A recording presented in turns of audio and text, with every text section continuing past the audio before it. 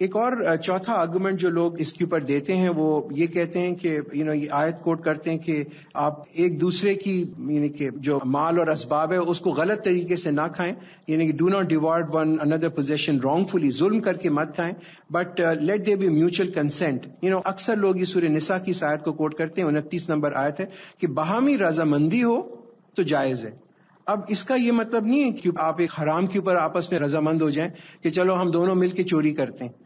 तो तुम आओ तो मेरे बैंक में चोरी करो तो मैं भी वहाँ तुम्हारा पार्टनर म्यूचुअल थेफ्ट है अडल्ट्री है, ये तमाम चीज़ें किसी की रजामंदी से होती है, दो लोगों की रजामंदी से ये तमाम जो है गुनाह होते हैं। और गैम्बलिंग है अगेन उसमें भी रजामंदी होती है, दो लोग आपस में मिलकर कहते हैं, चलो अब हम सट्टा करते हैं या जुआ खेलते हैं।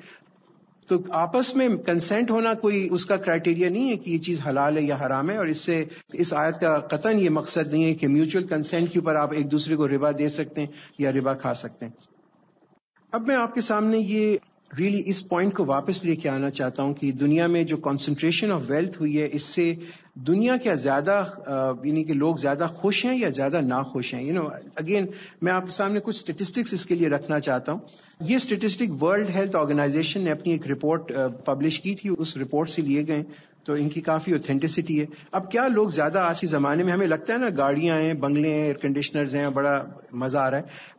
क्या लोग ज़्यादा खुश हैं? In you know really as a population as a world together कुछ लोग हो सकते हैं हो मगर जो वर्ल्ड हेल्थ की इस पे रिपोर्ट है, उसके हिसाब से एक बिलियन इस दुनिया में, छह बिलियन में से एक बिलियन ऐसे लोग हैं जिनको कि कभी भी कोई डॉक्टर या इलाज की सहूलत नहीं मिलती। One six of this world population never see any doctor you know हमें तो लगता है ना कि अभी सर में दर्द हुआ तो डॉक्टर के पास जाओ एस्प्रिन खा लो।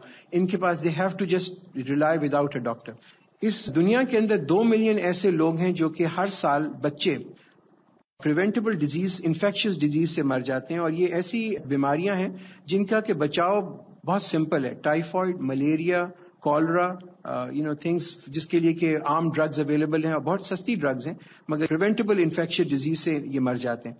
इस दुनिया के अंदर इस वक्त 192 मिलियन बच्चे ऐसे हैं जो कि मेल नरिश्ड हैं, जिनके पास खाने के लिए या तो बहुत कम है या बिल्कुल भी नहीं है। यानी कि वो लिटरली ऐसे भी जगहें हैं जहाँ पे लोग घास या फूस खा के ज़िंदा रहते हैं। इसी दुनिया के अंदर 1.3 बिलियन रिमेंबर इस दुनिया में 6 बिलियन लोग हैं। 1.3 बिलियन उनमें से ऐसे लोग हैं कि जिनके पास के जो साफ़ पानी से महरूम है, उनको कभी साफ़ पानी नहीं मिलता। वो गंदा पानी पीते हैं और गंदे पानी पे रहते हैं। नो वंडर इतने लोग उसमें डिज़ीज़ की वजह से मर जाते हैं। तो यू नो आपके घर में अगर पानी आता, आप ये कभी सोचें कि अलहमदुल्ला कि आप इनमें से नहीं है। You know we could have been either one of these one billion और three billion almost like half of the world population is facing this poverty तो कभी हमें अल्लाह का शुक्र भी अदा करना चाहिए। आप देखें कि हम अक्सर थोड़ी देर के लिए बिजली जाए या एक दिन के लिए पानी चला जाए तो हमें काफ़ी उसमें गुस्सा भी आ जाता है कि टैंकर क्यों नहीं आया टाइम पे और फला क्यों नहीं हुआ। तो आप ये सोच लें कि दुनिया में 1.3 बिलियन ऐसे लोग हैं तकरीबन जिनको साफ़ पानी भी नहीं मिलता पीने के लिए। इसी दुनिया के अंदर ऑलमोस्ट 900 मिलियन ऐसे लोग हैं जो लिख पढ़ भी नहीं सकते। हमें लगता है ना कि पूरी दुनिया बड़ी एजुकेटेड हो गई है।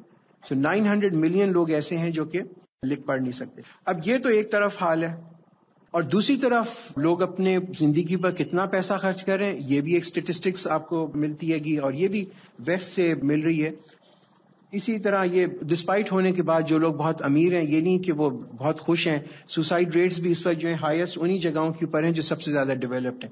In fact Sweden and Japan और द कंट्रीज़ जहाँ सबसे ज़्यादा लोग सुसाइड कर लेते हैं।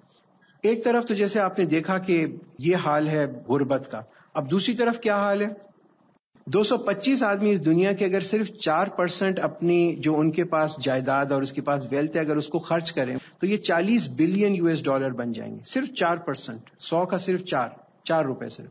अगर वो दें तो this amount will be sufficient ये इतना पैसा ये जमा हो जाएगा कि दुनिया भर के जितने गरीब लोग हैं, उनको आप बेसिक एजुकेशन दे सकते हैं, उनको आप बेसिक हेल्थ केयर दे सकते हैं, उनको आप एडिक्वेट फ़ूड दे सकते हैं, उनको आप सेफ़ वाटर दे सकते हैं, उनको आप सैनिटेशन दे सकते हैं।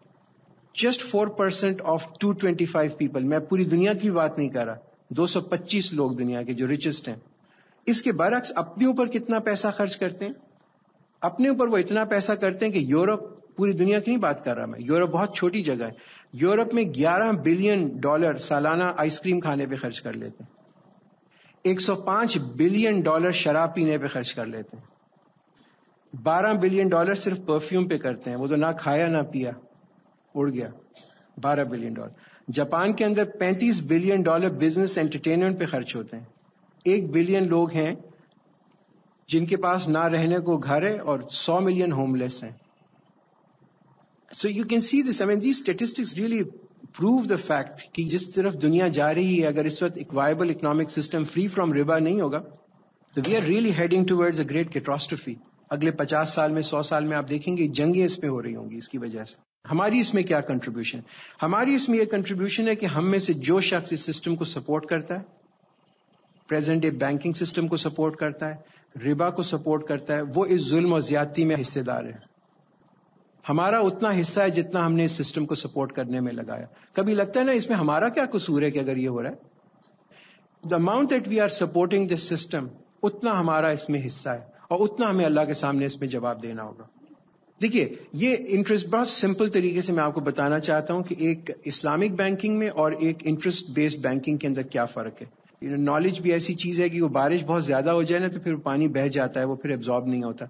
तो कई दफ़ा मैंने देखा कि ये दर्स में भी अगर आप बहुत ज़्यादा डेटा दे दें, बहुत ज़्यादा इंफॉर्मेशन दे दें तो फिर वो कुछ देर के बाद वो फिर फ्लो करने लगता है, उसका एब्जॉर्प्शन कम हो जाता है।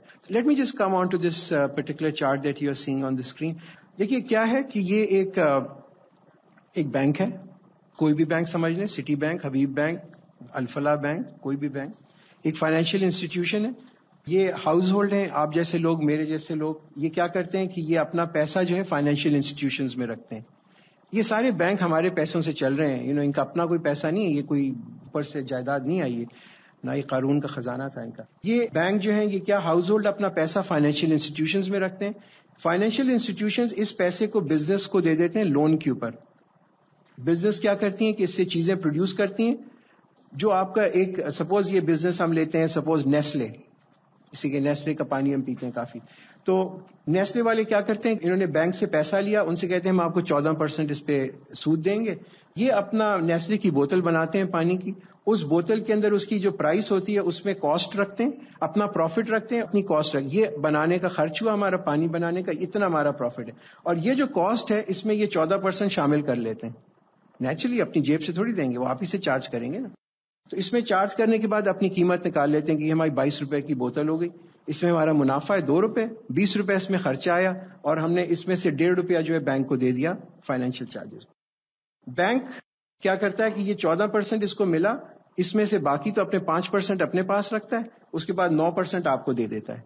तो क्या हो रहा है? एक तो आपने अपना जो आपकी सेविंग है, उस पर आपको कम पैसा मिल रहा है, नौ परसेंट मिल रहा है। और दूसरा जो आप गुड्स खरीद रही हैं, आपकी जो भी आपको पैसा मिल रहा है, उसे आप क्या करेंगी? मतलब आप तकिए में के नीचे तो नहीं रखेंगे, आप चीज़ें खरीदेंगी। उन चीज़ों के अंदर, तमाम के अंदर ये सूद का एलिमेंट शामिल है। तो ये एक्चुअली आप दोनों चीज़ें दे रही हैं। You are getting a less income आपकी इनकम भी कम हो रही है, और जो कुछ आप खरीद रही हैं, उसमें सूद का एलिमेंट शामिल है। तो जितना ज़्यादा सूद ये बिज़नेस दे रही होगी, उतना ही महँगा आपको वो पानी बेचेगी, बिस्किट बेचेगी, तकिया बेचेगी, जो आप खरीद रही और वो actually you are bearing the cost very simple example of a banking system तो अब इसमें इस्लामिक बैंकिंग ने कौन सा है? इसमें कोई रॉकेट साइंस कर ली। कोई रॉकेट साइंस नहीं है, थोड़ा सा फ़र्क है इसमें। इस्लामिक बैंकिंग क्या करती है? इस्लामिक बैंकिंग में क्या है कि एक फाइनेंशियल इंस्टीट्यूशन है, वो भी कोई भी इस्लामिक बैंक देख लें, वैसे तो बहुत कम है, एक मिजान बैंक का ही नाम आता है अभी तो। दूसरा ये हाउस होल्ड है, लोग आके अपना पैसा यहाँ रखते हैं। इनके साथ हमारी पार्टनरशिप होती है, मुशारका या मुदारबा की बेसिस पे वी डू अ मुशारका पार्टनरशिप ये पैसा भी हम एक मुशारका, मुदारबा या मुराबा या इजारा डिफरेंट मोड्स के साथ बिज़नेस के साथ रख लेते हैं। और हमारा इन बिज़नेस के साथ क्या एक एग्रीमेंट होता है? मुशारका के अंदर पार्टनर्स हैं। जितना आपके पास मुनाफा होगा, हम आपके साथ शेयर करेंगे। So now we are sharing a profit ये बिजनेसेस वो अपना जो भी मुनाफा रखती हैं, अपनी प्राइस रखती हैं कॉस्ट रखती हैं, वो अपने प्रोडक्ट्स बनाती हैं। बिस्किट बिस्किट, जो मर्ज़ी बना रहे हैं, बनाते हैं कपड़े वगैरह, जूते वगैरह। मोजे, जो मर्ज़ी बना के वो बेच देती अब, अगर बिज़नेस से ज़्यादा प्रॉफिट कमाया तो बैंक को ज़्यादा प्रॉफिट मिला। बिज़नेस ने कम प्रॉफिट बनाया तो बैंक को कम मुनाफा मिला। अगर इन्होंने ज़्यादा मुनाफा बनाया तो ज़्यादा मुनाफा क्यों बनाया कि इन्होंने यहाँ पे प्रॉफिट ज़्यादा चार्ज किया? राइट जब इन्होंने ज़्यादा प्रॉफिट चार्ज किया तो इनको प्राइस ज़्यादा मिली। अब ये इन्होंने ज़्यादा प्रॉफिट फाइनेंशियल इंस्टीट्यूशन को दिया, और फाइनेंशियल इंस्टीट्यूशन ने ये ज़्यादा मुनाफा जो है, वापस लोगों को दे दिया। सी बैलेंस जब ज़्यादा प्रॉफिट हो आपने वो चीज़ जाके खरीदी मार्केट से तो आपने ज़्यादा कीमत दी, मगर आपको बैंक ने भी ज़्यादा मुनाफा दिया। अब बिज़नेस साइकिल डाउन हो गई, कीमतें गिरनी शुरू हो गई, यहाँ इनका मुनाफा कम हो गया। अब इन्होंने कम मुनाफा कमाया, चीज़ें सस्ती होनी शुरू हो गई तो इन्होंने कम मुनाफा कमाया तो इन्होंने कम मुनाफा इनको दिया बैंक को इसने कम मुनाफा आपको दिया। तो ठीक है, आपको कम मुनाफा मिला, मगर चीज़ भी सस्ती मिली। Very simply you know you must understand sometime लोग समझते हैं कि कोई फ़र्क नहीं है इस्लामिक बैंकिंग के अंदर और कन्वेंशनल बैंकिंग के अंदर। बहुत बड़ा फ़र्क है। और जब आप आके इंटरनल वर्किंग देखेंगे तो आपको पता चलेगा कि डीप डाउन इसमें कितना फ़र्क है। अगर टोटली इस्लामिक बैंकिंग प्रैक्टिस की जाए तो कभी भी ये इन्फ्लेशन और जो साइक्लिक uh, प्रॉब्लम्स आती हैं सोसाइटी के अंदर इन्फ्लेशन बढ़ जाती है रिसेशन हो जाती है इन्फ्लेशन हो जाती है स्टेगाफ्लेशन हो जाती है मुख्तलिफ़ इकोनॉमिक प्रॉब्लम जो सोसाइटी में आती हैं ये कभी भी ना है उस सोसाइटी के अंदर जितने गुड्स बनेंगे, उतना ही पैसा सर्कुलेट करेगा। Let's just look at this chart देखिए इंटरेस्ट बेस्ड बैंकिंग के अंदर और एक इस्लामिक बैंकिंग के साथ एक कंपैरिजन इन दोनों का करें। इंटरेस्ट बेस्ड बैंकिंग के अंदर क्या है कि सब्जेक्ट मैटर जो है मनी है। वो पैसे को लेके उसको प्राइस करते हैं। जैसे कि हम कमोडिटीज को प्राइस करते हैं ना, वो पैसे की प्राइसिंग करते हैं। उसको, पैसे को एक टाइम वैल्यू दे देते हैं कि ये पैसा आज मेरे पास सौ रुपए है अगर मैं इसको किसी को दूँगा एक साल के लिए तो एक सौ बारह रुपए इसकी वैल्यू अगर मैं इसको पाँच साल के लिए दूँगा तो इसकी वैल्यू एक सौ चालीस रुपए। You know price according to the time. So, basically, the subject matter in an interest based banking is money. जहाँ तक कि इस्लामिक बैंकिंग का ताल्लुक है, उसमें it's not subject matter is not money subject matter is trading Islamic banking is nothing in fact अगर आप बहुत सिंपल तरीके से इस्लामिक बैंकिंग को देखें तो वो क्या है? वो ये है कि आप हर ट्रांजैक्शन जो है, उसके पीछे एक अंडरलाइंग एसेट होना चाहिए। अगर आप मीजान बैंक में आके हैं कि जी मुझे पचास लाख रुपए चाहिए नॉर्मल बैंक में क्या होगा? वो कहेंगे अच्छा जी, आप तो बड़े अच्छे हैं, आपका तो घर है और आप बड़े अमीर लगते हैं, हम आपको पचास लाख रुपए देते हैं। अब आपकी मर्ज़ी, जो मर्ज़ी करें। आप जाएँ, छुट्टियाँ गुजारने चले जाएँ, कोई किश्ती खरीद लें, कोई पार्टी वार्टी कर दें, कुछ भी करें, जो मर्ज़ी आपकी करें। ठीक है? ये पैसा जो है, पता नहीं जाया हुआ, क्या हुआ? अब आप एक इस्लामिक बैंक में आते हैं, वो कहते हैं, आपको क्यों चाहिए ये पैसे? उसने कहा कि, जी, हम ये पैसा लेना चाहते हैं कि हम कोई बेटी की शादी कर दें। तो हम कहते हैं, नहीं, ये तो फिर नहीं हो सकता। इसी के अंडरलाइंग एसेट नहीं है। वो कहते हैं हाँ जी, हमें पैसा चाहिए, हम तो ये ग्लास बनाते हैं, हम ग्लास बना के बेचेंगे। तो then we say fine now we can do business आप बताएँ, आप कितने ग्लास बनाएँगे? कितना आपको पैसा चाहिए? रॉ मटेरियल के लिए कितना? तो every time that a Islamic bank does a transaction तो उसके पीछे क्या है कि एक अंडरलाइंग एसेट है। अब जितने ज़्यादा ये आदमी ग्लास बनाएगा, इतने ज़्यादा वो इन लोगों को एम्प्लॉय करेगा, उतनी ज़्यादा इसका रॉ मटेरियल की ज़रूरत होगी और लोगों के अंदर जिसको कहते हैं ना कि गेनफुल एम्प्लॉयमेंट मिलेगी, ये बहुत बड़ा फ़र्क है इस्लामिक बैंकिंग में और कन्वेंशनल बैंकिंग के अंदर। Every transaction of an Islamic bank is backed by an asset everything that we do is going to be back bank जो है वो पैसे को एक कमोडिटी की तरह ट्रीट करता है, जैसे कि हम कमोडिटी ट्रीट करते हैं उसके जो प्रॉफिट होता है, उसको प्राइस करने के बाद मिलता है। हालाँकि इस्लामिक बैंक जो है, वो पैसे को कमोडिटी नहीं ट्रीट करता। वो उसको कहता है कि हम पार्टिसिपेट करते हैं in risk and in reward and we participate in the economy and through that economy we will generate more wealth you know आपको मैंने शुरू में बताया था एक स्लाइड के ऊपर कि हर एक सिस्टम का एक बुनियादी उसूल होता है। तो इस्लाम का बुनियादी उसूल क्या है? फला well being well being of people at large तो इस तरह होता है कि इस्लामिक बैंक जितने ज़्यादा ट्रांजैक्शन करेगा, उतनी ज़्यादा फलाह होगी माशरे के अंदर, उतने लोगों को गेनफुल इंप्लॉयमेंट मिलेगी और उतने ही ज़्यादा जो है लोगों के अंदर जिसको कहते हैं ना वेल्थ को सर्कुलेट करेगा। अब कभी कभी लगता है कि जैसे कि ये इस्लामिक बैंक कहाँ है दुनिया में? ये तो कहीं है ही नहीं, पता नहीं चाँद पे शायद होगा और कहाँ पे तो पाकिस्तान में तो कोई हमें नज़र ही नहीं आता, हम कहाँ पैसे रखे? ऐसी बात नहीं है, ये अगर हमारे यहाँ कम है तो इसका ये मतलब नहीं है कि वायबल सिस्टम नहीं है इस्लामिक बैंकिंग कोई ऐसा, कोई अनहोना किस्म का कंसेप्ट है कि जो कोई अर्श से आया हुआ, कोई ऐसी बात नहीं है, ये बहुत वायबल है, बहुत जगह के ऊपर इस्लामिक बैंकिंग प्रैक्टिस की जा रही है। अगर मैं आपको इसके बारे में एक स्लाइड दिखाऊँ कि दुनिया किन किन ममालिक में अब इस्लामिक बैंकिंग का रुझान पैदा हो गया, इस वक्त 42 कंट्रीज़ हैं दुनिया में जहाँ पे इस्लामिक बैंकिंग किसी ना किसी फॉर्म में मौजूद है। 42 very high figure you can see और इन बयालीस मुल्कों में से सत्ताईस जो मुल्क हैं, वो मुसलमान मुल्क हैं, जिसमें Kuwait, Dubai, Saudi Arabia, Iran, Malaysia, Brunei and Pakistan. Pakistan में तो अभी शुरू हुई है और बहुत ही कम बैंक हैं जो इस्लामिक बैंक हैं। मगर मलेशिया के अंदर इस्लामिक बैंकिंग इस वक्त ग्रो कर रही है at the rate of forty percent. यानी कि अब डेफिनेटली एक, यू नो, लोगों के अंदर रुझान आता जा रहा है। एक बड़ा ही एक, मुसलमानों के लिए एक बड़ा क्रिटिकल टाइम है। इस वक्त मुसलमान अपनी आइडेंटिटी को वापस रिकग्नाइज कर रहे हैं ना जिस कहते हैं ना कि इस्लाम की एक रिसर्जेंस हो रही है वर्ल्ड वाइड ये जो हम जितने फिनोमिना देख रहे हैं, कोई यू नो बिल्डिंगों के ऊपर जहाज़ मारना और फला ठिका और ये जलाना, मारना, वारना, ये एक इंडिकेट कर रहा है कि there is a great resurgence going on अब मुसलमान जो है, वो अपनी आइडेंटिटी को रिकग्नाइज करना चाहते हैं। हम कौन है? Who are we where did we come from what is our ideology हमें किस किस्म का? तो एक उसकी वजह से एक जिसको कहते हैं ना this is part of growing up pain एक बच्चा जब बड़ा होता है ना जब उसका कद लंबा होता है तो उसके बदन में दर्द होता है। This is part of that growing up pain that Muslim are going to because ultimately वो तो हदीसें बिल्कुल सिंपल हैं और वो यू you नो know, उस पर कोई डाउट ही नहीं है कि अल्टीमेटली गलबा तो इस्लाम का होना है। अब इसमें जो ये गलबा है वो हमारी पता नहीं एफर्ट से हो या ना हो उस पर तो कमेंट करना मुश्किल है। मगर ये हमारी नीयत और हमारे एफर्ट से जो है ना, हम अपना हिस्सा उसमें लेंगे। ये अल्टीमेटली इस्लाम का गलबा होगा मुल्क यू नो एक वो मेरे एक दोस्त है, मैं actually really going out of this track मगर उनका एक किस्सा है, मैं आपको सुनाना चाहता हूँ। और वो लाहौर में रहते थे he was a you know manager of a very large bank वहाँ पे एरिया इंचार्ज थे। गुलबर्ग में वो रहते थे।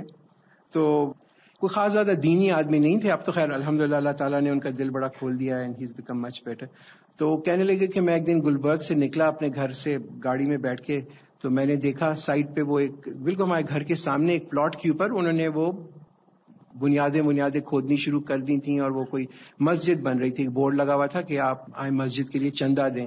तो कहने लगे, मेरे दिल में ख्याल आया कि ये तो बड़ा अच्छा काम है, कुछ मैं भी पैसे लगा देता हूँ, जब तक यहाँ लोग नमाज़ पढ़ेंगे, मुझे भी उसका सवाब मिलता रहेगा। तो वो जैसे ख्याल आते हैं, वो ख्याल आया, फिर ख्याल चला भी गया, वो शैतान वैसे ही भुला देता है, ऐसी चीज़ें जल्दी भुला देता है। तो वो वक्त गुजर गया, कहने के तीन चार महीने हो गए, फिर एक दिन मैं फिर निकला तो मैंने देखा कि वो तो काफ़ी बन गई, दीवारें वीवारें उसकी काफ़ी खड़ी हो गई, छत पत पड़ रही थी। तो मैं कह रहे मुझे ख्याल आया था, वो पैसे मैंने दिए ही नहीं, अब मैं जल्दी कोई ना कोई चेक वेक लिख के मस्जिद में भेज दूँगा, ताकि मेरा भी उसमें कुछ हिस्सा लग जाए। फिर वो ख्याल आया, फिर कुछ और चीज़ों के अंदर वो गायब हो गया ख्याल। कहने लगे एक साल गुजर गया, इस तरह एक साल बाद मैं गुजरा तो मैंने देखा कि वो तो नमाज़ हो रही है वहाँ। तो कहने लगे मुझे ये ख्याल आया कि मस्जिद तो एक्चुअली बननी थी। अल्लाह ने उसको तो कभी ना कभी बनाना ही था। वो आदमी अपना हिस्सा उसमें डाल सकता है या नहीं डाल सकता this is what we decide ये हमारा जो डिसीशन है इस वक्त, वो ये नहीं है कि इस्लाम का गलबा होगा या नहीं होगा। वो तो अल्लाह ने जब उसको लेके आना है तो वो तो लेके आए। अगर वो इस्लामिक सिस्टम भी लेके आना है इकोनॉमिक सिस्टम भी लेके आना है तो वो तो आएगा, चाहे हमारी एफर्ट से आए या ना आए, वो तो इंसान ये नहीं कह सकता कि हम एफर्ट करेंगे, वो तो अल्लाह ने लेके आना है। सिर्फ़ हमें अपना ये डिसाइड करना है कि हमारा उसमें हिस्सा होगा या नहीं होगा। हम हिस्सा डालें या ना डालें, वो तो अल्लाह ने उसको ज़रूर लेके आना है। एंड आई ऑलवेज रिमेंबर जब भी मैं इस बारे में सोचता हूँ कि कभी कभी हमें ये लगता है कि हम ये जो कुछ कर रहे हैं, इसका कोई रिज़ल्ट भी होगा? या पूरा दिन आप इसमें झक मारते रहते हैं। कोई उसका रिज़ल्ट भी आएगा? इतने थोड़े से लोग हैं। कहाँ इसका एफर्ट होगी? How will things come to end but it really doesn't matter at the end of the day when you think back in the evening उससे क्या फ़र्क पड़ता है? मतलब झंडा वॉशिंगटन में इस्लाम का लगे या न लगे, इससे हमें क्या फ़र्क पड़ता है? कभी लोग इस्लामिक बैंकिंग के ऊपर ही बात करते हैं, और मुझे तो एक्चुअली इसका बड़ा फेस करना पड़ता है। कल मैं इस्लामाबाद में था, वहाँ इस्लामिक यूनिवर्सिटी में एक सेमिनार उन्होंने अरेंज किया हुआ था, और वहाँ पे पाकिस्तान के तमाम बैंकर्स आए हुए थे, और वो तकरीबन ढाई घंटे की मेरी उसमें वहाँ पे तकरीर थी, इस्लामिक बैंकिंग के ऊपर एंड जो लोग आए हुए थे, बड़े सिनिकल बड़े क्रिटिकल कैसे होगा, एक बैंक क्या करेगा, और ये तो कुछ भी नहीं, और इतनी सी तो एफर्ट है, आप देखें तो दुनिया में क्या हो रहा है, और आप क्या करें and exactly that's what I told I am not interested कि दुनिया में पूरे मुल्क के अंदर या पूरे उसमें आए या ना आए. और मिजान बैंक में एक्चुअली हम तो सिर्फ़ यही यू नो अपने लोगों के ऊपर भी एम्फोसाइज करते हैं। आप ये देख लें कि आपका उसमें हिस्सा है या नहीं हिस्सा। अगर आपका हिस्सा है और आप अल्लाह के सामने जवाब दे सकते हैं तो फाइन डजेंट मैटर मतलब हमारे बाद आए ना आए, सारा सिटी बैंक सारा कुछ ले जाए और सारी मल्टीनेशनल्स आ जाए। What difference does it make at least हम तो अल्लाह के सामने जाके कह सकते हैं कि यू नो हमने अपनी जो एफर्ट थी वो करके देख ली। बाकी लोग उस पर आए इस्लामिक बैंकिंग को प्रैक्टिस करें, ना प्रैक्टिस करें, उसको बंद कर दें। What different does it make to us and I think this is an important thing because कई दफ़ा आदमी की जो स्ट्रेंथ है, वो शैतान इस तरीके से कम करने की कोशिश करता है कि इससे होगा क्या? ये क्या अलहुदा आपने एक बना दिया यहाँ पे? दो सौ औरतों को ट्रेन कर दिया आपने। इससे कोई रेवोल्यूशन आएगा, कोई मुल्क चेंज होगा। आप जाके देखें तो बसंत में क्या होता है, बल्कि उस दिन मैं लाहौर में एक ट्रेनिंग प्रोग्राम देने के लिए गया तो वो हमारे वहाँ पे एक साहब फ़ूड स्ट्रीट पे ले गए वहाँ खाने वाने के लिए। तो मुझसे कहने लगे कि आपको हम अगले साल बुलाएँगे जब यहाँ बसंत होती है। तो मैंने कहा आप क्यों हमें शैतान की इनविटेशन दे रहे हैं? आप तो ये तो कोई अच्छी बात नहीं है बसंत वसंत का आप चक्कर। कह लेंगे वो आप तो वैसे ही बात कर रहे हैं वो जैसे कि वो एक डॉक्टर साहबा हैं वो अलहुदा चलाती हैं वो भी ऐसी बातें करती हैं। एनीवे anyway, इसका जो अगला हिस्सा है वो जरा एक्चुअली थोड़ा सा टेक्निकल है। इसमें मैंने प्रोडक्ट्स बताए हुए हैं कि इस्लामिक ऑल्टरनेट्स क्या हैं तरीके क्या हैं इस्लामिक बैंकिंग के लिए। यू नो मुराबा है मुशारका है और सलम है इस्तना है ये डिफरेंट इस्लामिक प्रोडक्ट्स हैं जो हम यूज़ करते हैं। अगर आप में से कोई खासतौर पे बैंकिंग से जिसका ताल्लुक हो या बैंक में उन्होंने कहीं काम वाम किया हो या इंटरेस्ट हो तो we can always do a more detailed technical session with them later on but I can see generally चूँकि औरतों में ज़्यादा फाइनेंस का रुझान होता भी नहीं है तो वो, मैं आपको फिर ये इंस्ट्रूमेंट्स के बारे में बताना शुरू करूँगा तो वो जरा बोरिंग हो जाएगी। I like to just stop here if you want any question then I can answer now जी। देखिए, एक कन्वेंशनल बैंक का मैं आपको बताता हूँ, ये हमें होता है ना कि ये जो बैंक्स किस तरीके से प्रॉफिट कमाते हैं, कि एक मैंने एग्जांपल दिया हुआ है इसके अंदर, कि एक गवर्नमेंट जो है, मुल्क के अंदर मनी सप्लाई किस तरह इंक्रीज होती है, जिससे कि सारी जो ये लानत है ना इन्फ्लेशन की और एक रिसेशन की जो प्रॉब्लम्स आती हैं सोसाइटी के अंदर, सौ रुपए जो है एक बैंक किसी को देता है तो एक उसमें मनी मल्टीप्लायर इफ़ेक्ट होता है। उस मनी मल्टीप्लायर इफ़ेक्ट से क्या होता है कि मार्केट के अंदर वही पैसा जो है वो सर्कुलेट करता रहता है। इनफैक्ट होता क्या है कि बैंक के पास सपोज़ एक लाख रुपए हैं। वो बैंक एक लाख रुपए जो है वो दूसरे बैंक को देगा। दस परसेंट स्टेट बैंक की रिक्वायरमेंट है, दस परसेंट उसको रिज़र्व रखना होता है तो उस एक लाख में से नब्बे हज़ार रुपए वो दूसरे बैंक को दे देता है। सर्कुलेशन ऑफ़ मनी शुरू होती है। दूसरा बैंक उस नब्बे हज़ार में से दस परसेंट अपने पास रखता है, तीसरे बैंक को दे देता है। तो वो एटी वन थाउज़ेंड रुपीज़ उसको दे देगा। तो एक और सर्कुलेशन होगी। चौथा बैंक उस एटी वन थाउज़ेंड में से दस परसेंट रखेगा, फिर सेवेंटी थ्री थाउज़ेंड किसी और को दे देगा। तो एक्चुअली हो क्या रहा है कि वही पैसा वही है? The same hundred thousand rupees keeps going around in the market and that increases the speed of money और सडनली अगर ये पहला कॉल हो जाए तो यू फाइंड कि पूरा बैंकिंग सिस्टम जो है कोलैप्स कर है। अगर इस वक्त आप पढ़ रहे होंगे तो इस वक्त जापान के अंदर बैंकिंग सिस्टम एक बहुत बड़े बुरहान से गुजर रहा है। सिर्फ़ हुआ यही है कि बैंक्स ने एक दूसरे के साथ ट्रांजैक्शन की तो एक अरसे तक तो लगता रहा कि इकोनॉमी बड़ी बूम कर रही है। यानी कि खूब पैसा है और जनाब धड़ाधड़ बैंक इधर से ले रहे हैं, उसको दे रहे हैं, उधर से ले रहे हैं, उसको। एक्चुअली था वो एक ही लाख रुपया वही लाख रुपया दूसरा एक यू नो सर्कुलेट होता रहा। एंड एज ए रिज़ल्ट जब इकोनॉमी श्रिंक करनी शुरू हुई और लोगों ने वो अपना पैसा कॉल करना शुरू किया तो आपने देखा कि मार्केट के अंदर एकदम से जो है पूरा फाइनेंशियल सिस्टम कोलैप्स करिए ये इस्लामिक बैंक के अंदर नहीं हो सकता। क्यों? कि इस्लामिक बैंक किसी दूसरे बैंक को सिर्फ़ पैसे एज अ मनी नहीं लैंड कर सकता। If you do this this will be un Islamic The only thing we can do is lend only through a trading transaction. वो कहते कि अल्लाह ने बै को तो हलाल किया है, कि ट्रेडिंग को तो हलाल किया है, मगर रिबा को हराम किया। वो एग्जैक्टली exactly ये आयत का इस पॉइंट की पर होता है कि जहाँ ट्रेडिंग होगी, वहाँ इस किस्म का ये नहीं हो सकता कि आप रिज़र्व रेशो रखें और अपना पैसा जो है वो आगे दूसरे लोगों को लेंड करना शुरू कर देंगे सिर्फ़ उस माशरे के अंदर होगा जहाँ पे कन्वेंशनल बैंकिंग जो है, उसको प्रैक्टिस किया जा रहा है। This was just a point I thought I make again थोड़ा टेक्निकल है। अगर किसी ने सूद पर कर्जा दिया है और वो इस सूद के ज़रिए से प्रिंसिपल से ज़्यादा ले, जो अब सूद छुड़ाना चाहता है तो वो अब अब भी प्रिंसिपल वापस ले या छोड़ दे। देखिए जिन्होंने ये सवाल पूछा है, ये अगर किसी ने किसी से सूद पे कर्जा लिया है तो प्रिंसिपल तो उसको उसका लेने का उसका हक है। वो कुरान की आयत मैंने आपके सामने रखी थी कि जिसका प्रिंसिपल है वो उसको वापस कर दो। सो so, प्रिंसिपल जो है वो तो आपको लेने का हक है। अगर आपको उस प्रिंसिपल से ज़्यादा मिला सपोज़ आपने बैंक में रखा हुआ है पैसा एक तो कर्जा लेना होता है, देना होता है, अगर आपको बैंक से मिल रहा है सूद तो बेहतर उसका तरीका यह है कि आप बैंक से ले लें और उसके बाद आप उसको किसी गरीब लोगों के अंदर तकसीम कर दें। This is the most equitable and the best way of handling Sood. But if you have an Islamic bank then it is preferable preference ये है कि आप अपना पैसा जो है कन्वेंशनल बैंक में ना रखें। चाहे आप उससे सूद नहीं भी ले रहे, मगर उससे बैंक की सपोर्ट तो कम अज कम हो रही है ना।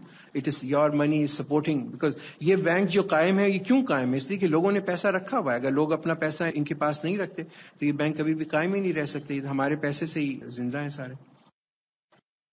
एनआईटी एनआईटी का जो इन्वेस्टमेंट्स हैं, वो ज़्यादातर शेयर्स के अंदर उन्होंने इन्वेस्ट किया हुआ है। ये एक थोड़ा सा ग्रे एरिया है। कुछ ऐसे शेयर्स हैं जो कि शरीयत के अंदर उनकी ममानियत है। हमारे यहाँ भी एक इक्विटी का पोर्टफोलियो है, जिसमें कि हम इन्वेस्ट करते हैं शेयर्स के अंदर, मगर कुछ ऐसे शेयर्स हैं जहाँ पे हम इन्वेस्ट नहीं कर सकते। वो कौन से शेयर हैं? टोबैको कंपनीज़ जो सिगरेट की कंपनीज़ हैं, जैसे कि लैक्सन टोबैको है या पाकिस्तान टोबैको कंपनी उसमें इस्लामिक बैंक इन्वेस्ट नहीं कर सकता। तो अगर एनआईटी में आपने पैसे रखे हुए तो फाइन उसका जो मुनाफा हो रहा है, वो तो परमिसेबल है। ऐसे कि वो इक्विटी मार्केट से हो रहा है शेयर्स के अंदर उन्होंने उसको रखा हुआ है। अगले साल मालूम हुआ कि नुकसान हो गया, ये हमारे सरमाए सिर्फ़ पाँच ये मुझे मालूम नहीं कि उन्होंने पैंतालीस हज़ार रुपए और मांगे। आई डोंट थिंक एनआईटी के अंदर आई यू श्योर कि एनआईटी में हुआ था जिसने ये सवाल पूछा? और उन्होंने कहा कि अगले साल मालूम हुआ कि नुकसान हो गया और हमारा सरमाया सिर्फ़ पाँच हज़ार रह गया। अब इस प्रोसेस को आगे बढ़ाने के लिए हमें पैंतालीस हज़ार रुपए मजीद देने पड़ेंगे, जो हमारे पास नहीं है। इसलिए हमारे पचास हज़ार रुपए डूब गया। इस बारे में वजाहत करें। I am not so sure कि आपसे पचास हज़ार रुपए क्यों मांगे बिकॉज़ देखिए एनआईटी की जो वैल्यू है वो डिटर्मन होती है कि उन्होंने एनआईटी ने एक पोर्टफोलियो बनाया हुआ है। उस पोर्टफोलियो से वो शेयर खरीद लेते हैं। आज एनआईटी की वैल्यू मेरा ख्याल है कोई दस रुपए पचास पैसे करीब है। एक जमाने में गिर के छह रुपए रह गई थी। तो ये तो मार्केट का बढ़ाव, चढ़ाव था, मगर इसमें आपसे वो फर्दर पैसे तो नहीं ले सकते। मतलब at best you can lose what you have invested and you didn't because NIT उसके बाद कीमत वापस ऊपर आ गई, और वो उसके बाद डिविडेंड भी उन्होंने देना शुरू कर दिया। तो I am not so sure कि ये पैंतालीस हज़ार रुपए उन्होंने कैसे मांगे। अगर आप वजाहत इसमें कर दें तो शायद मैं आपको बर मेहरबानी वजाहत करें कि जिन प्रोडक्ट में सूद का एलिमेंट शामिल हो गया, इनको खरीदना। देखिए ये हमारी उसकी प्रिव्यू के अंदर नहीं है कि हम ये देखें कि जनाब ये जो हम रोटी खरीद रहे हैं, जिसने ये तंदूर लगाया गया ये सूद से है या नहीं, ये तो उसकी बात है ना। ये तो जिसने तंदूर लगाया, वो अल्लाह के सामने जवाब देगा, हमें तो हलाल रोटी वहाँ से मिल रही है, हम रोटी लेके खा रहे हैं। अब आपको एक प्रोडक्ट मिल रहा है मार्केट के अंदर तो आपको इसमें जाने की कोई ज़रूरत ही नहीं है कि ये जिसने फैक्ट्री लगाई है, ये सूद पे लगाई है, या गैर सूद पे लगाई है, या शरई लगाई है। भाई, वो शरई प्रोडक्ट है, हलाल प्रोडक्ट है। अगर वो हलाल है और तैयब है तो अलहमदुल्ला आप आराम से खाएँ, उसमें आप इस, उसमें ना रहें कि ये फिर अल्टीमेटली जो है, ये फिर तो हमें बिजली भी बंद करनी पड़ेगी, पानी भी बंद करना पड़ेगा, कोई पहाड़ शहाड़ पे जाके रहना पड़ेगा, ये तो बड़ा प्रॉब्लम हो जाएगा। कुछ बैंक इस तरह प्रॉफिट और लॉस करते हैं कि इनका लॉस परसेंटेज फिक्स्ड होती है, यानी आठ परसेंट से कम लॉस नहीं होगा।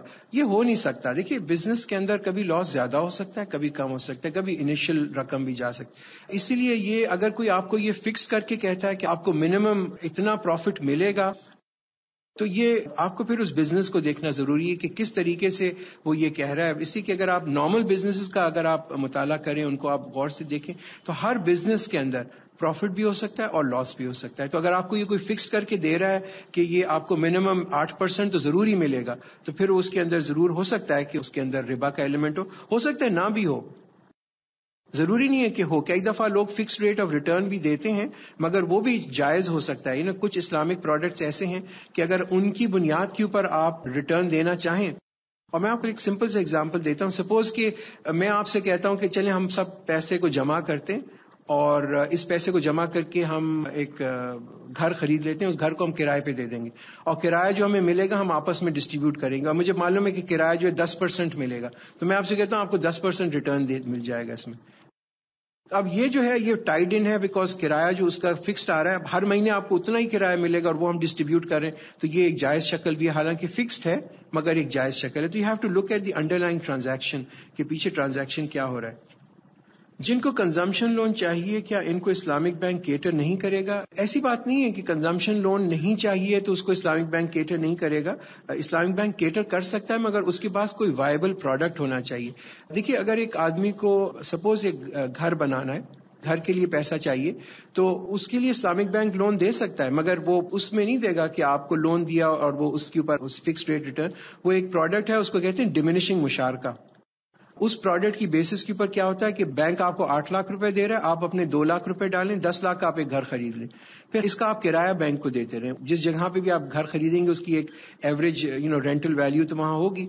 उसके बाद क्या होगा कि हर साल बैंक कहेगा कि हमसे आप उस घर की यूनिट्स कर लेते हैं। सपोज़ इस घर की दस यूनिट है। दो यूनिट आपके पास है, आपने दो लाख दिया, आठ यूनिट बैंक के पास है बैंक ने आठ लाख दिया। तो हर साल या हर दो साल में आप हमसे एक यूनिट खरीद लें।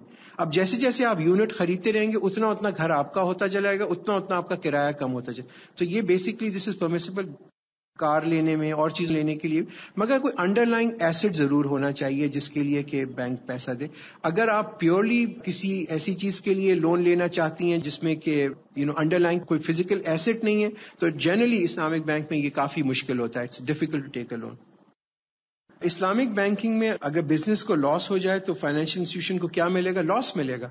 अगर हम एक बिज़नेस के अंदर इन्वेस्ट करते हैं, इसलिए वी आर वेरी केयरफुल कि कहाँ हम इन्वेस्ट करें। अगर बिज़नेस के अंदर लॉस होता है तो potentially the bank can also have a loss you know this is a profit and loss it it is there does insurance come under Riba नहीं इंश्योरेंस डजेंट कम अंडर रिबा what kind of insurance is not Riba देखिए insurance का एक बिल्कुल एक separate topic है but this is a complete different topic देखिए insurance में दो चीज़ें होती हैं, एक गरार होता है और एक एलिमेंट होता है इंटरेस्ट का। इसमें डिफरेंस ऑफ़ ओपिनियन है। इस्लामिक इंश्योरेंस जो है, उसको तकाफुल कहते हैं।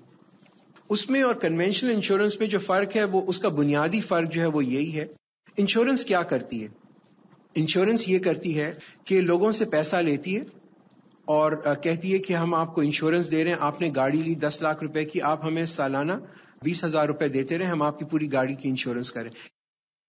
इसी तरह आप जैसे कोई पचास, साठ या सौ, हज़ार लोगों से इसी तरह करके एक पूल क्रिएट कर लेती अब उस पूल के अंदर सपोज़ दो करोड़ रुपए।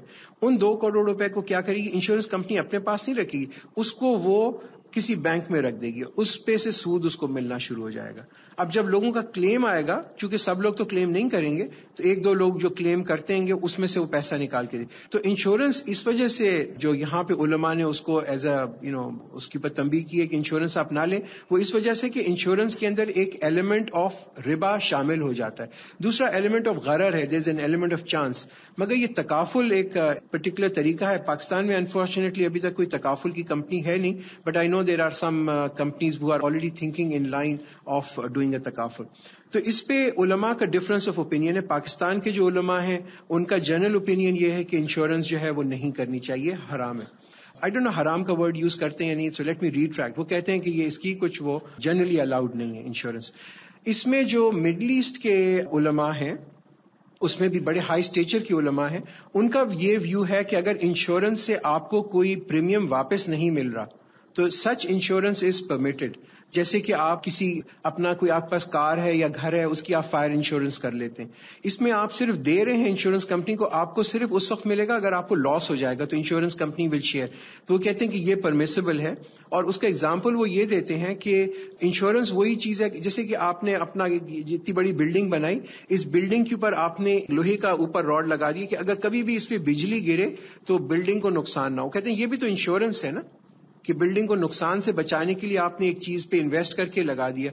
तो जो लोग जनरल इंश्योरेंस करते हैं अपने घर की या कार की और प्रोडक्ट्स की, ये इस कैटेगरी में उसको रखते हैं कि ये इंश्योरेंस जो है परमिसेबल है, क्योंकि ये वन वे इंश्योरेंस है। आप सिर्फ़ प्रीमियम उसका पे कर रहे हैं। लाइफ इंश्योरेंस में उनका डिफरेंट ख्याल वो कहते हैं लाइफ इंश्योरेंस परमिसेबल नहीं है, क्योंकि उसमें इंसान को एक मुद्दत के बाद जो है पैसा वापस मिलता है और उसमें रिबा का एलिमेंट आ जाता है तो इस वजह से वो डिसअलाउ करते हैं। पीएलएस में जो प्रॉफिट जमा होता रहता है, वो हलाल देखिए, ये I mean really I can't give a फतवा देखिए प्रॉफिट एंड लॉस का मतलब है तो प्रॉफिट एंड लॉस मगर अगर सिर्फ़ रिबा का नाम चेंज कर दें और ऊपर लिख दें चेकबुक के ऊपर, कि ये तो पीएलएस हो गया, और नीचे वही चीज़ हो तो ये तो फिर आपको देखना पड़ेगा कौन सा बैंक है, क्या पीएलएस है उसका, कभी लॉस के चांस है भी या नहीं है। सिर्फ़ नाम तो नहीं तब्दील कर दिया। हमारे यहाँ अक्सर तो यही हुआ कि जो पहले इंटरेस्ट था, उसको मिटाया, वहाँ ब्लैंक लगाया, ऊपर लिख दिया पीएलएस तो वो तो कोई हलाल नहीं हो गए तो ऐसा है कि आप सुअर के गोश्त के ऊपर आके बीफ का ठप्पा लगा दें तो वो थोड़ी के हलाल हो जाएगा। इस पॉइंट ऑफ़ व्यू को जरा आपको डिटेल में देखना होगा। Buying and purchasing stuff on credit card, the bank charges a, a, fee to provide the service. Are we allowed uh, to use credit card? Not under Islamic banking. We are looking to launch a credit card. जो conventional credit cards हैं उसमें problem यही है कि अगर आपकी payment delayed payment होती है तो उस पर एक इंटरेस्ट का एलिमेंट वो चार्ज करते हैं and that interest element is something that is disallowed तो इस वजह से कन्वेंशनल क्रेडिट कार्ड्स जो हैं वो within Islamic Shariah are not permitted having said that there are debit cards also debit card क्या होता है कि आपका अकाउंट है एक बैंक के अंदर, आपने उसमें पैसे रखे हुए। तो जब भी आप कोई चीज़ उस डेबिट कार्ड से परचेज करती हैं तो आपके अकाउंट में से इमीजिएटली वो सेटल हो जाता है। Debit card is allowed where there is no element of interest but Credit card is not permitted. Now, having said that, I also know that in Dubai, they have now launched or they are about to launch. In fact, City Islamic जो है Dubai में वो एक credit card launch कर रही है, which actually has been approved by the Sharia board. मुझे उसकी working का पता नहीं, how does that function, but I believe that there is a credit card which is going to come in the market which will be uh, permissible. Sir, some people say markup is not riba. What do you say? What can I say? I mean, I'm no one to say anything. Actually, just see what uh, the, what the Sharia bench said and what uh, what the Supreme Court said. Really, they are an authority. They are ulamas who are more knowledgeable than I have, and they say that if you just call something a markup, कि एक चीज को आप markup कह दें उसको interest का नाम आप चेंज करके मार्कअप कह दें does not make a thing हलाल और हराम you have to see the underlying transaction कौन सा बैंक कर रहा है सिर्फ उसका नाम मार्कअप कर देने से जो है वो चीज जो है वो हलाल नहीं हो जाती अगर कोई चीज़ किस्तों पे ली जाए और उसकी असली कीमत अठारह हज़ार लेकिन दो हज़ार इजाफी दिया जाए तो ये क्या ये सूद है? देखिए, इसमें ये किस्तों के ऊपर जहाँ तक किस्त का सवाल है, इसमें एक तो परमिसिबिलिटी है leasing is permitted under Islam lease इंसान कर सकता है अंडर इस्लाम लीज क्या होता है? मगर लीज की कुछ कंडीशंस हैं जो बहुत ज़रूरी हैं। मिजान बैंक में भी हम भी लीजिंग करते हैं। मगर लीजिंग के लिए क्या ज़रूरी है कि जो एसेट है, जो लिया जा रहा है, वो बैंक की मिल्कियत है। आप उसका किराया दे रहे हैं। ये इजारा इसको क्यों कहते हैं? उजरत है। दो किस्म की उजरत होती है। एक उजरत होती है कि आप नौकरी कर रहे हैं, आपको उसकी एक उजरत मिल रही है। आपने एक मजदूर से कहा, मेरे लिए काम कर दो, आपने उसको उजरत दे दी। एक और तरीके से जहाँ शरीयत के अंदर उजरत का इस्तेमाल होता है, वो ये कि आपके पास कोई एसेट है, आपने वो एसेट किसी और को दे दिया। सपोज़ मेरे पास एक जनरेटर है और मैं इनको कहती हूँ कि आपकी मेरा जनरेटर अगर आपको चाहिए, आप ले लें, मगर आप मुझे महीने का हज़ार रुपए देती रहिएगा। आप यूज़ करें इसको और पाँच साल के लिए आप इसको यूज़ करते हैं। ये मैं उनसे उजरत ले रहा हूँ for use of an asset this is permissible in Islamic Shariah so all leases are not disallowed but you have to look at the nature of contract उस नेचर ऑफ़ कॉन्ट्रैक्ट में देखने की क्या ज़रूरी चीज़ है? वो ये कि जो अंडरलाइंग एसेट है जो आप खरीद रही हैं, वो किसकी प्रॉपर्टी है?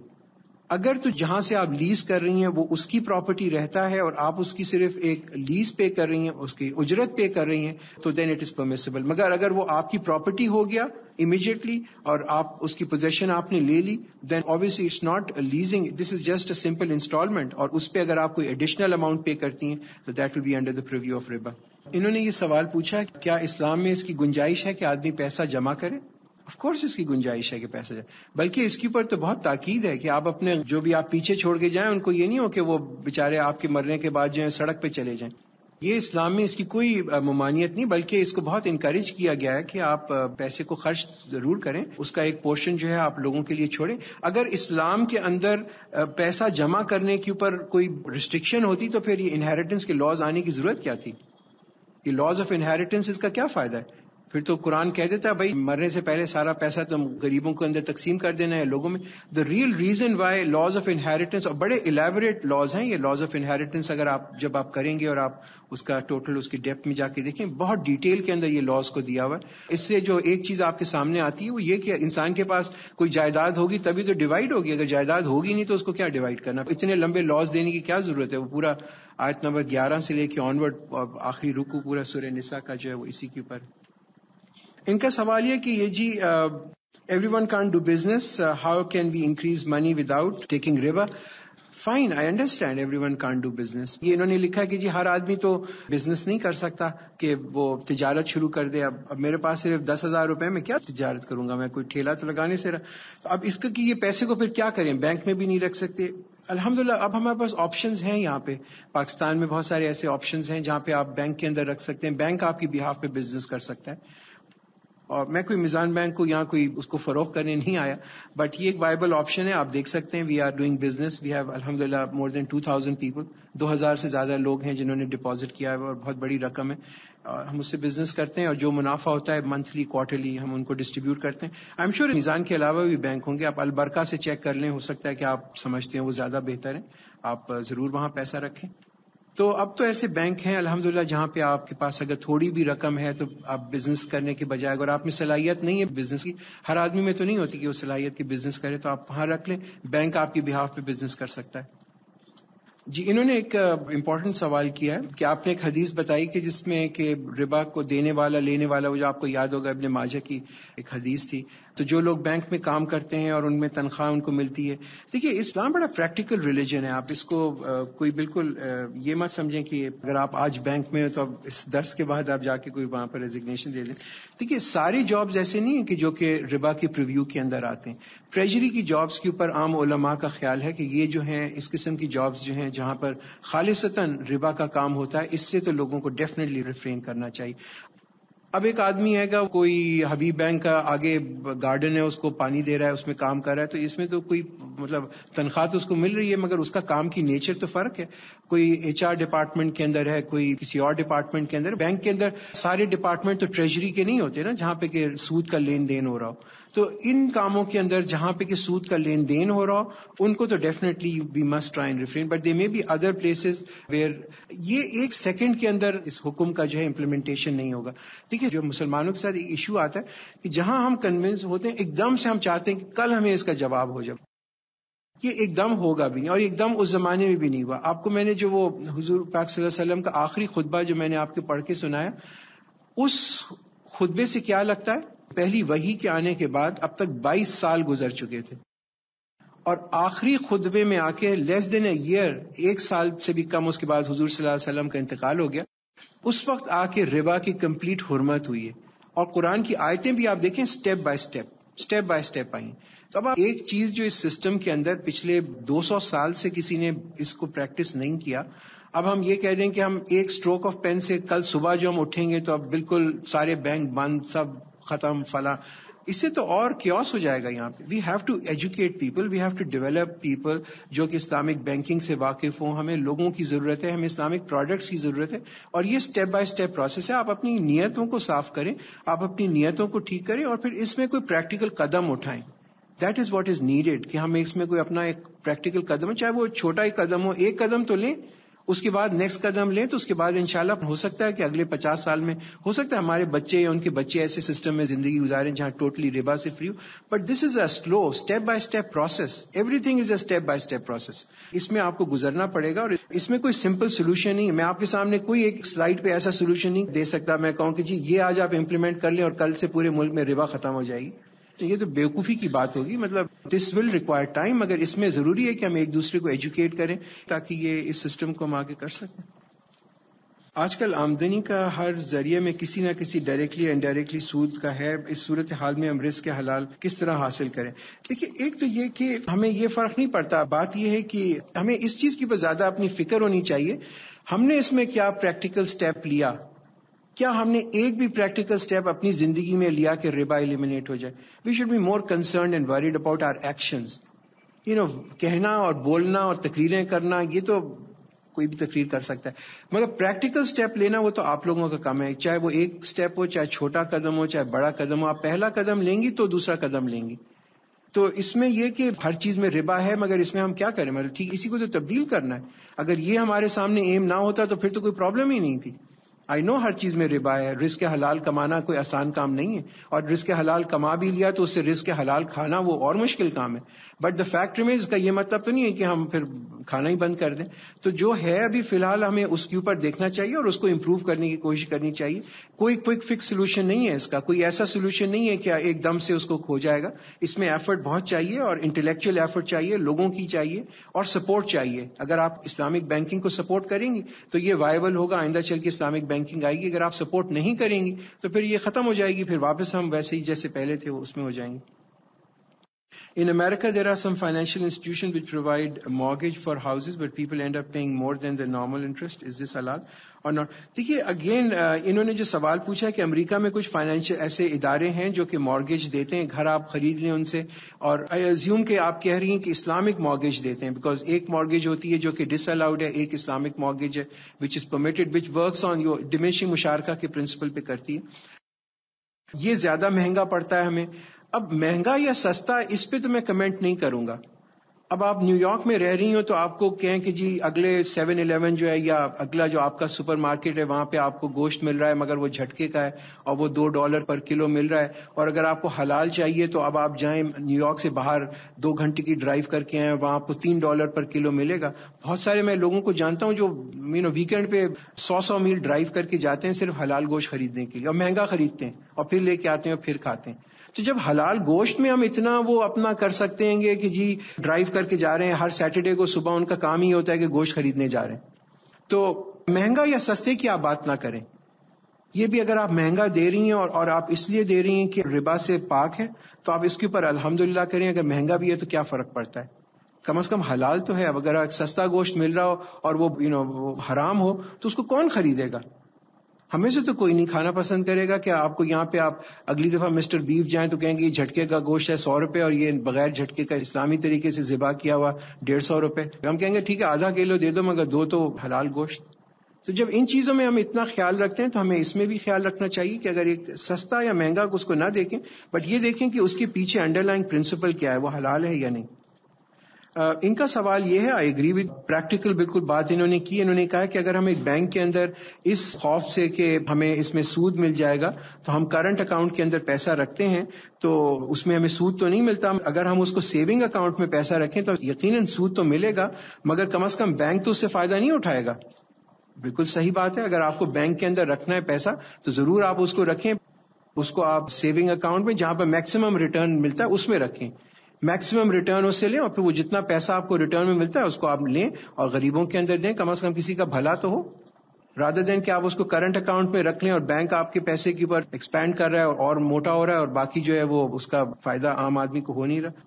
Is dividend over share interest no dividend on share is not interest it depends who gives a dividend some dividends में भी डिसअलाउड अगर किसी ने मरी, ब्रूरी के शेयर लिए हुए तो तो वैसे शेयर ही डिसअलाउड है तो उस पर तो इंटरेस्ट या ना इंटरेस्ट की बात नहीं है but if the share is of a company which is जो ऐसी कंपनी का है, जो कि इस्लामी शरिया के मुताबिक कोई चीज़ बना रही है तो फाइन उसका जो डिविडेंट है वो बिल्कुल हलाल है।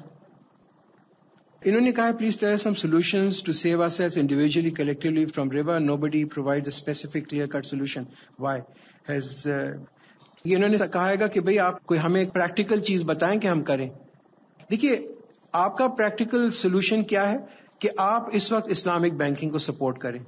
दैट्स अ प्रैक्टिकल वे मैं अब आपको क्या कहूँ? आप मतलब हम तलवार लेके तो जाने से रहना इस वक्त रिबा के खिलाफ जो हमें जंग करनी है, वो ये करनी है कि एक तो ये कि हम इसको number one our intention should be कि अगर हमें रिबा मिलता है तो हम उस रिबा को हम अपनी ज़िंदगी के अंदर से निकाल दें और वो निकाल के हम किसी गरीब लोगों को देना ये भी एक बहुत बड़ा जिहाद है। नंबर टू जब कोई इस्लामिक बैंक पाकिस्तान में आए, हम उसको सपोर्ट करें और हम उसको चेक करें और हम उसको इंश्योर करें कि इस्लामी शरीयत के मुताबिक चले। ये हमारा फ़र्ज़ है कि हम उसको सपोर्ट करें और वो जो है, वो अपनी बिज़नेस इस्लामी शरिया के मुताबिक करे। और उसके बाद फिर इन्होंने लिखा है कि हैज़ देर बी एनी इश्तेहाद। देखिए, इश्तेहाद तो उन चीज़ों के ऊपर होता है जो नई चीज़ें आती हैं। मतलब हार्ट ट्रांसप्लांट पे तो मैं आप कहें कि इश्तेहाद कर लो तो मैं कहूँ हाँ ठीक है कि उस जमाने में कोई तो यू नो बर्नर शॉ नहीं था कि हार्ट ट्रांसप्लांट करता है तो इसलिए उस पर तो कोई हदीस या कुरान पे नहीं मिलेगा। मगर अब इश्तेहाद रिबा पे क्या इश्तेहाद करना? भाई रिबा रिबा है वो तो शराब पे या उस पर तो नहीं कर सकते। सुअर पे कि सुअर के गोश्त पे हम इश्तेहाद करें तो वही बात है एक जो चीज़ हराम क्लियर कट है उस पर कोई डिफरेंस ऑफ़ ओपिनियन नहीं है इस पे ना ही कोई नई चीज़ हुई है तो इस पर इश्तेहाद करने की ज़रूरत ही नहीं What do you say of about Muslim countries' uh, money lying in foreign banks uh, earning interest? Don't they know about these ahadis?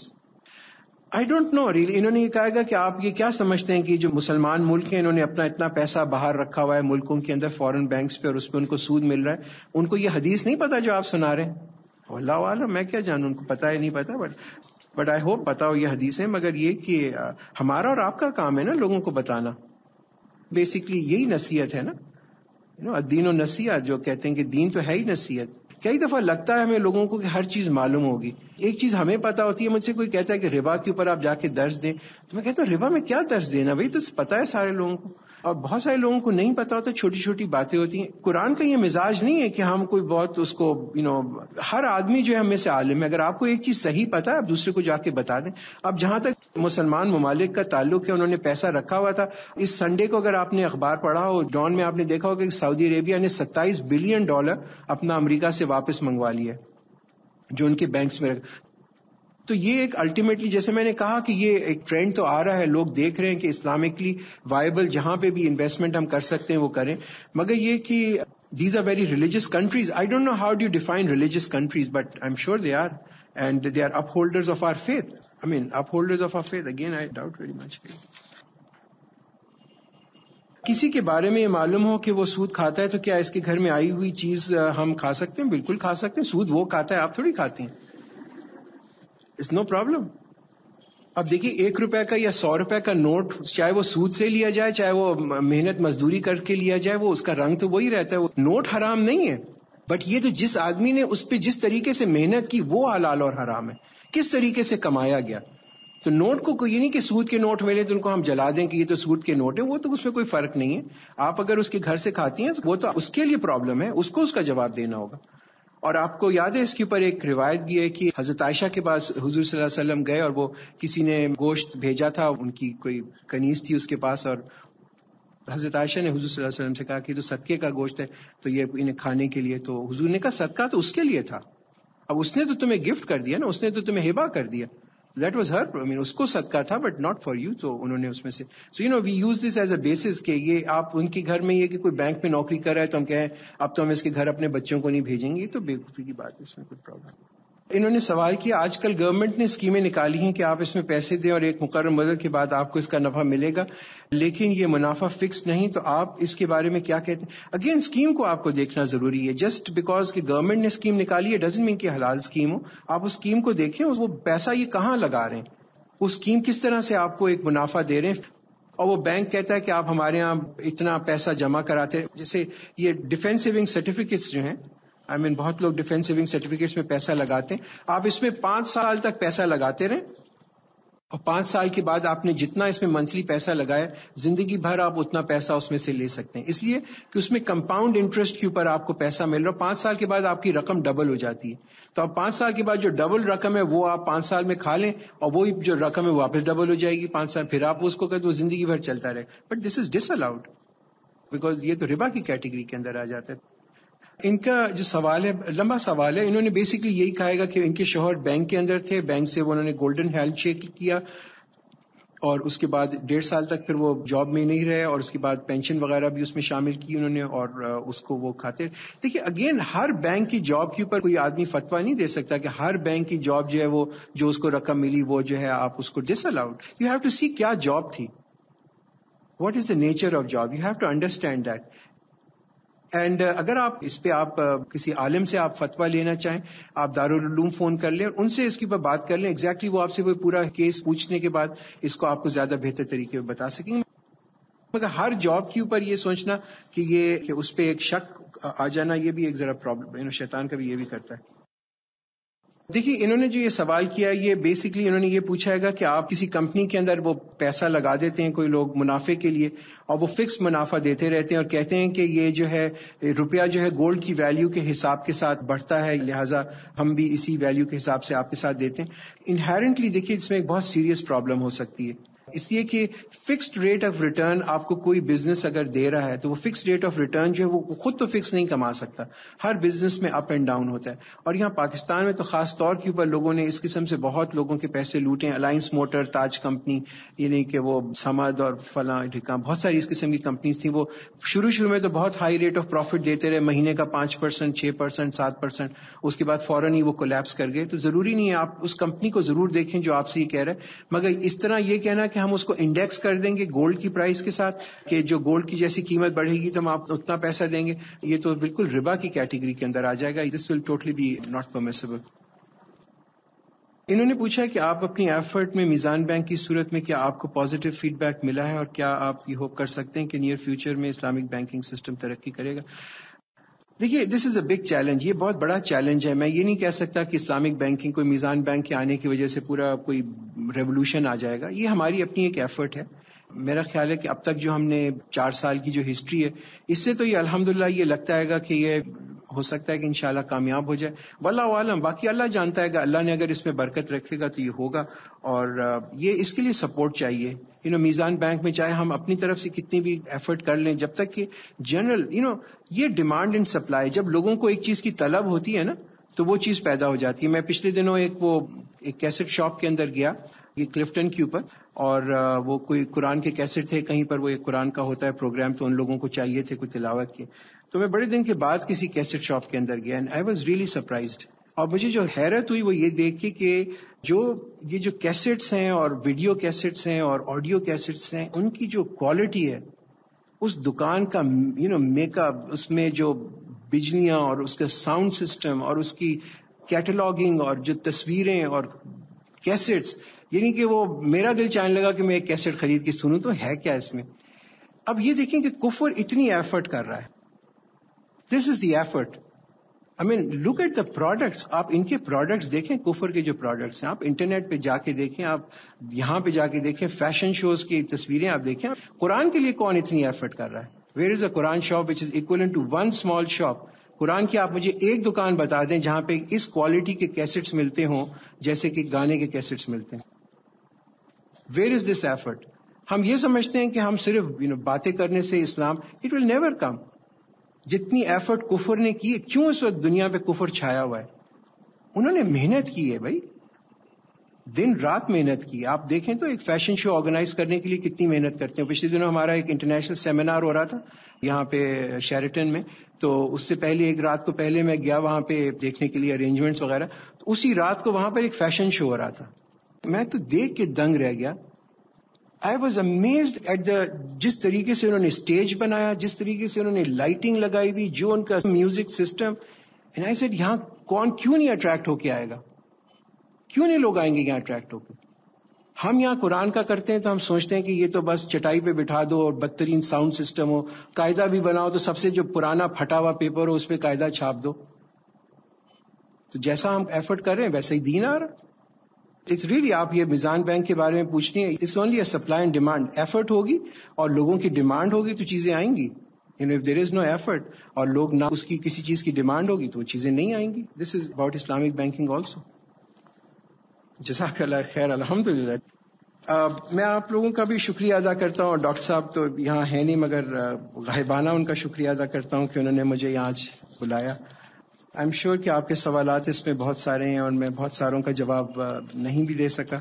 और एक्चुअली रियली सब चीज़ों का जवाब भी मेरे पास नहीं है। ऑनेस्टली तो मैं आपको ये भी बताना चाहता हूँ कि बहुत सारे ऐसे सवाल हैं जो आपके दिमाग में, वो मेरे भी दिमाग में but actually the only difference is कि यू you नो know, अपनी तरफ़ से हम जो भी हो सकता है कोशिश कर रहे हैं। आई होप कि आप लोग भी इसमें हमारे साथ ताउन करेंगे सपोर्ट करेंगे। कहीं पे भी इनफैक्ट मैं कोई मिजान की बात नहीं कर रहा। कहीं पे भी आप इस्लामिक बैंकिंग को देखें कोई भी चीज़ इस्लाम से रिलेटेड हो उसको ज़रूर सपोर्ट करें। सो so, जजाकला खैर।